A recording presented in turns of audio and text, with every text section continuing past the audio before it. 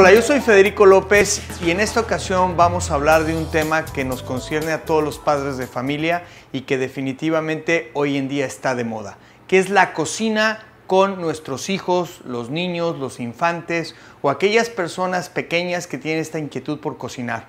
Hoy en día los programas de televisión han hecho que esta afinidad por cocinar despierte pues la inquietud de muchos niños y muchos de ellos se quieren acercar a las cocinas para empezar a generar sus primeros pininos.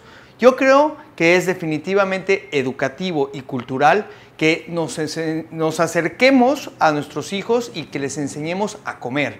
Pero hoy en día no nada más es cocinar o hacer una receta o simplemente estar al lado de la estufa moviéndole a una cacerola cuando mamá está cocinando. Yo creo que hay que enseñarles desde ir a los mercados, conocer los ingredientes, enseñarles qué son los ingredientes. Muchos de ellos tal vez tendrán la curiosidad de saber qué es o a qué sabe o de dónde viene y otros de ellos estarán con una repulsión de que ah eso no me gusta y no me no lo quiero y no lo quiero tener pero yo creo que tenemos la obligación de irnos más allá. Un ejemplo que les pongo es el chocolate.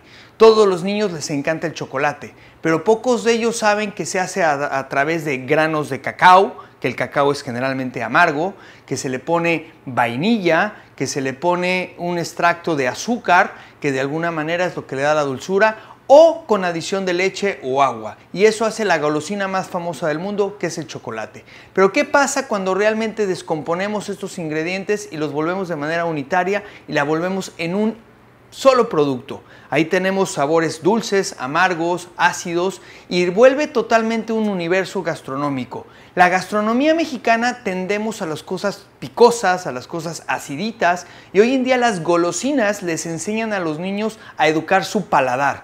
Desde muy niños en la escuela comemos esta comida, que no le puedo llamar comida, más bien son dulces en nuestros recreos y se hacen adictos a esos sabores.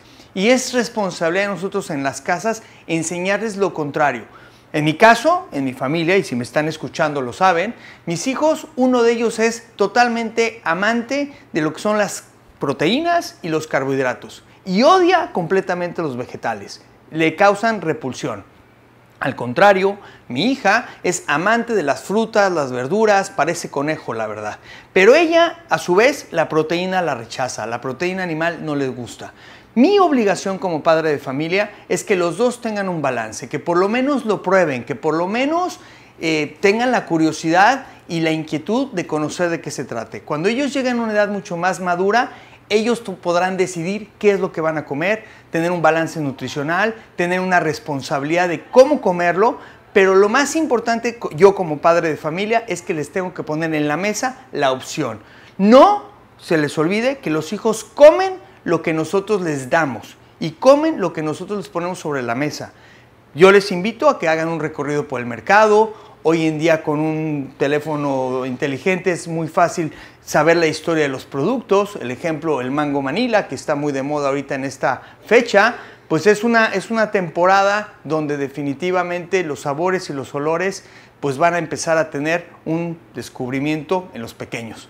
Aprovechen la infancia de sus hijos, enséñenles a comer, enséñenles sus ingredientes, enséñenles de regiones, enséñenles a su amor por los productos regionales. Yo soy Federico López y esta es la opinión del chef.